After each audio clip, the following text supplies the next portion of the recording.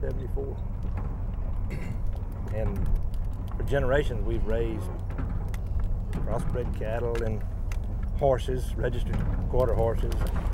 Then we, in the 60s, went to raising Charolais cattle, registered Charolais cattle, and, and bred up a real good herd. well, for years we had a, a good, dependable calving rate. Cattle bred when they were supposed to, and the bulls were all fertile, and man, things were just like they were supposed to be. Well, they're not like that these days. We've had uh, a noticeable decrease in the calving rate. Cattle aren't as fertile as they used to be, and the bulls aren't as fertile as they used to be. Good gosh. Used to sell every one of our bulls.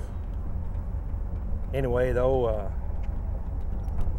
I guess I am basing that just on tribal knowledge or historical knowledge, but we did have a, a herd study that was performed, uh, concluded about three or four years ago.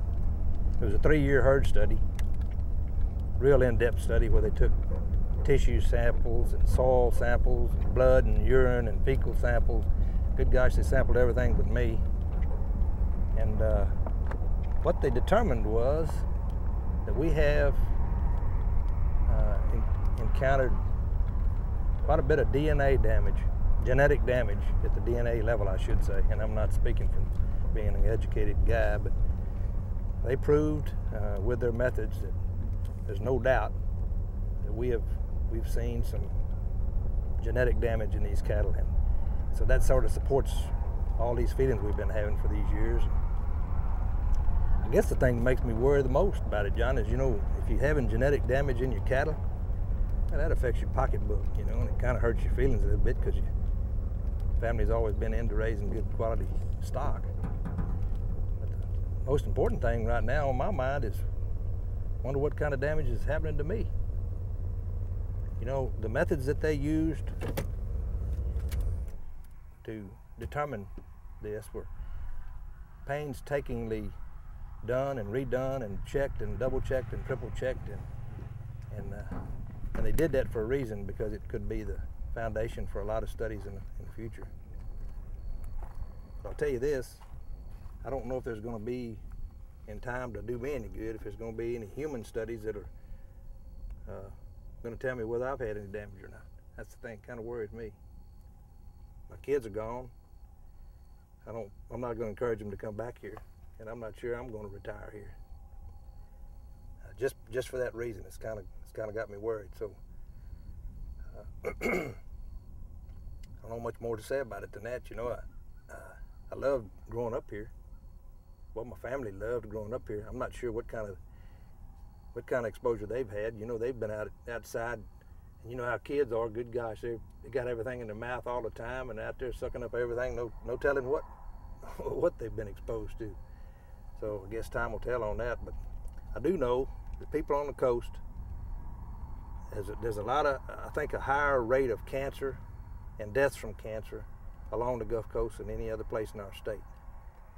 I'm pretty sure it's attributable, although I don't know if they can prove it yet or not, to petrochemical industry and I know one thing about petrochemical plants. I've worked in several of them, and I worked at Formosa Plastics out here.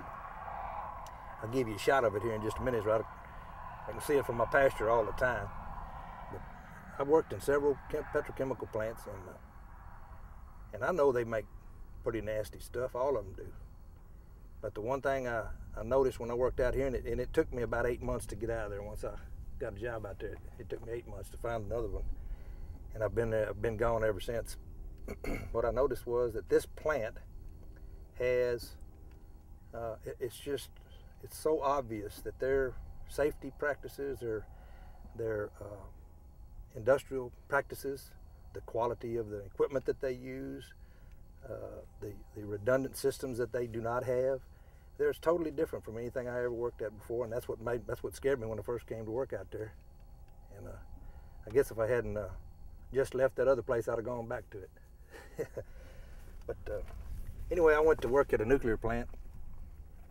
Yeah, but I've been associated with this plant out here through this this ranch for well, about 25 years now. And uh, frankly, I'm, I'm a little bit worried, John, uh, about what my future's going to hold.